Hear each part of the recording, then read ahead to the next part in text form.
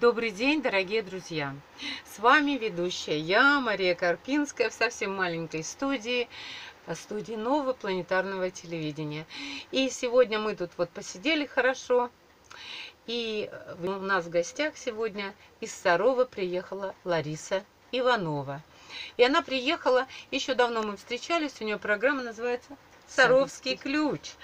Вот, и сейчас в течение 8-9 минут Лариса расскажет, э, как сдвинулась, сколько лет программе? 30. 30 лет. Как за 30 лет программа двинулась из Сарова дальше. Но это как уже Серафим Саровский должен встать и пойти на Москву, не так ли? Ну, э, Ключ такой, как... Да, я, я бы согласилась с тобой в этом образе, который вот сейчас угу. ты подаешь. Э, Серафим Саровский встал, понес такой большой как на Москву ключ, да. А ведь э, От в, этом, мира. Э, в этом есть э, такая тайная правда. Угу. Ибо город Саров, я в него после студенческой скамьи приехала, для меня это было явление под названием «Москва, центр 300». Ага, то есть для тебя Саров был Москвой? Москвой. И закончив театральное училище, я выбираю музыкально-драматический театр в Москве, центр 300, приезжаю. Сарове на самом деле, в Сарове. Это в сегодняшнем времени этот а тогда город это Москва, Саров. да. А тогда нам... это был Арзамас 75, да. Арзамас 16, Ла... у него много кличек. Лариса, подожди, у нас очень мало времени, да, и да. поэтому мы должны раскрыть людям этот саровский ключ с твоей помощью. Открой, пожалуйста, вот 30 лет прошло, как эта программа твоя живет и Э, она, это проект, это проект, да, проект, который живет, здравствует и как-то, наверное, и шагает же по земле. Вот и раскрой на сегодняшний день состояние этой программы, какие видишь перспективы. Понятно, что она распространяется в таком виртуальном пространстве, в космосе, во Вселенной. Но, Но я верю, подведи итоги. Я, я верю в это, потому что ну, я уже за тебя подсказываю, да. что Нет, так почему? и. Я тут сидела, вот смотри, да. мы сидели, и было темно. И вдруг мы решили провести передачу, и вдруг откуда-то появился неожиданно свет, как будто я думаю, утро или вечер. Сейчас, э, кажется, полшестого, а ощущение, что утро. Поэтому ну вот, э, все есть. Э, э, как раз э, мы говорим сейчас опять об образе того явления, которое затаено в проекте «Саровский ключ», угу. ибо он имеет э, под шифр, это интегрированный способ воспитания угу. образа личности средствами массовой информации. Вот э, как ты считаешь, почему средства массовой информации включены сюда? Ну, куда деваться? Это эфир. Сегодняшнее средство массовой информации – это интернет, эфир. А нам не хватало этого пятого элемента, правильно? Пятый элемент.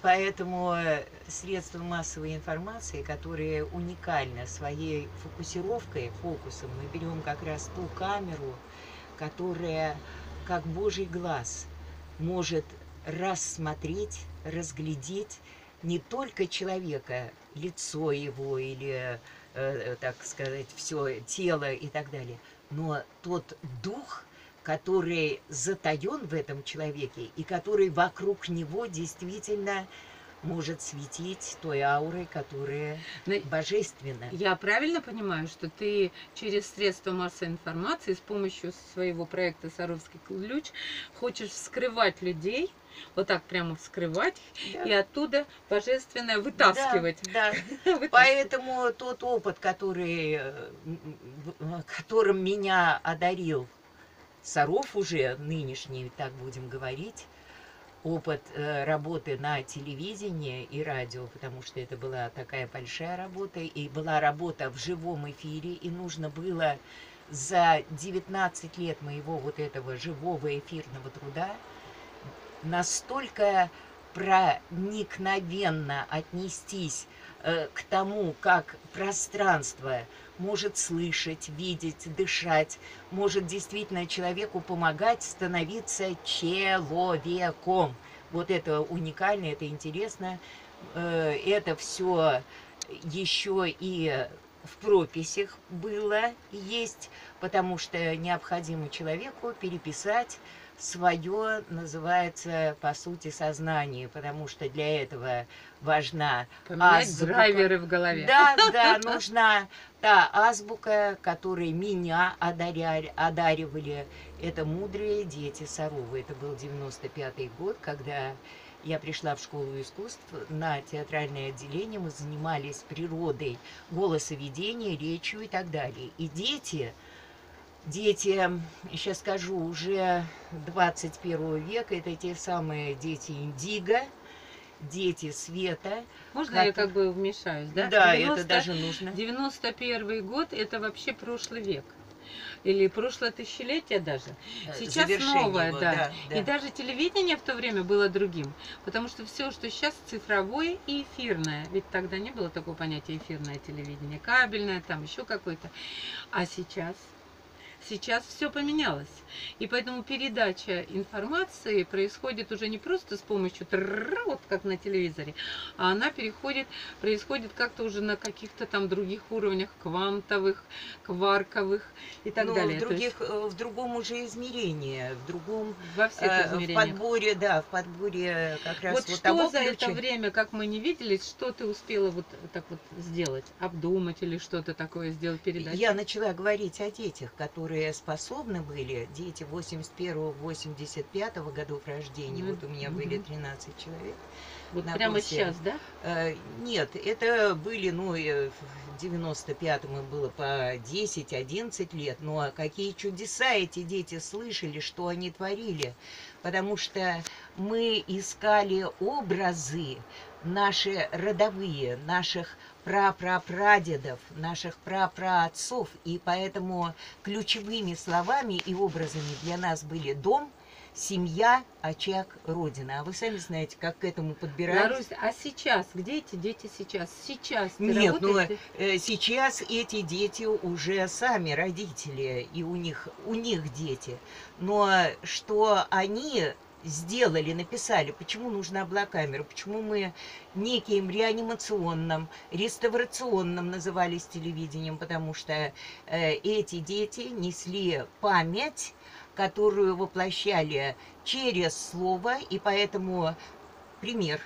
Это уже как страницы той азбуки, которую мы создавали. Хорошо. Это Ла- живая Ла- азбука развития. Она на все времена да, наперед. Понятно, она была создана. Да, Это про- создает. подожди, это прошлое. Вот, а сегодня, вот сейчас, вот эти годы, ну вот 18, 17, 16 годы, что было вот сделано?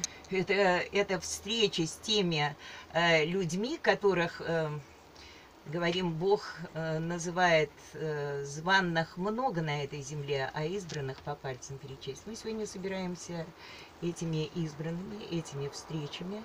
И э, пример тех детей, которые открывали нам вот эту родовую духовную память, э, это сейчас магнитит, это сейчас воспламеняет тех единиц, людские единицы, которые неравнодушны, которые не успокоены и которые ищут возврат той нашей Родины и той России, которая для каждого из нас бесконечно дорога.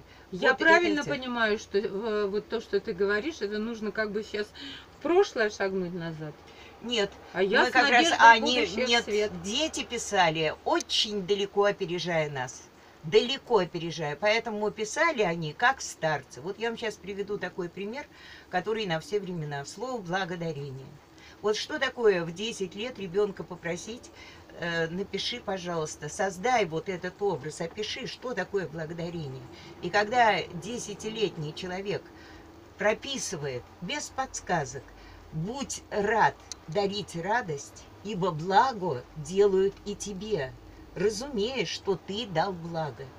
Посмотрите, я к иерархам иду и спрашиваю, кто написал? Написал десятилетний ребенок. Иерарх церковный говорит, это старец.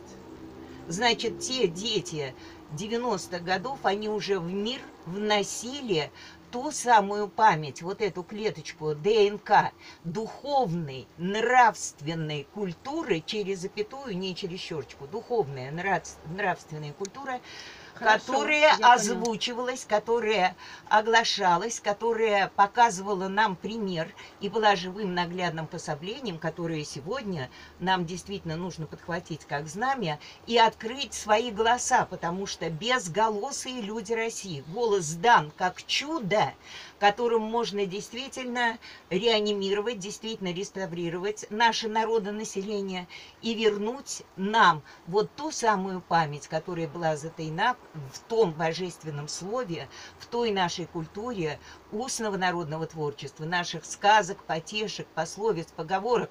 А живьем сегодняшние дети этого не слышат, не знают. Поэтому маленькими дозами, вот через видео, вот этот фокус, вот это обережно подавая букову за буковой, слово за слово, для того, чтобы вернулось, встрепенулось в наших сердцах чудо, которое называется любовь.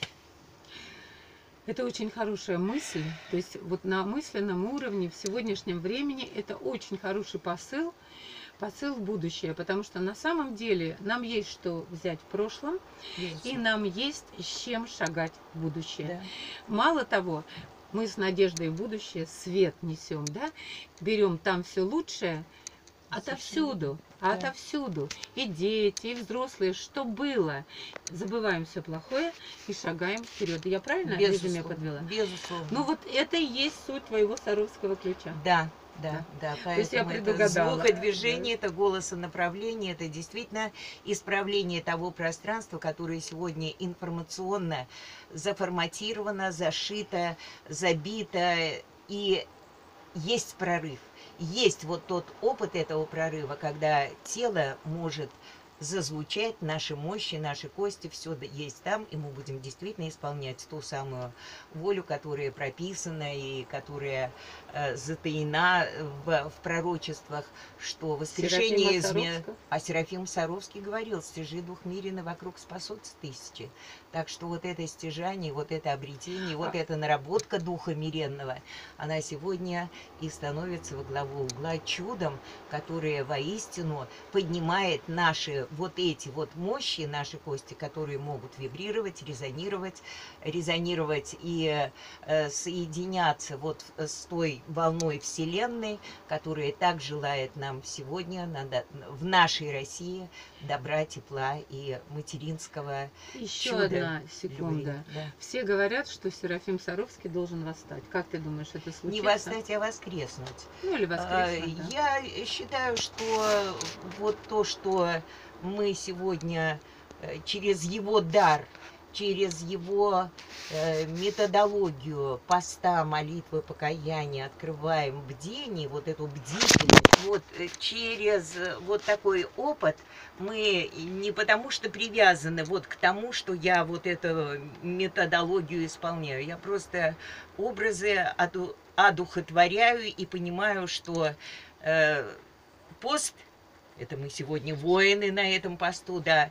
Молитва это перемол того, что действительно бедами Не, ну нашими да, да, является. понятно. и мы приходим к самим себе в Не, том ну все-таки ответ всё. такой прямой Это и вопрос. есть Саровский ключ.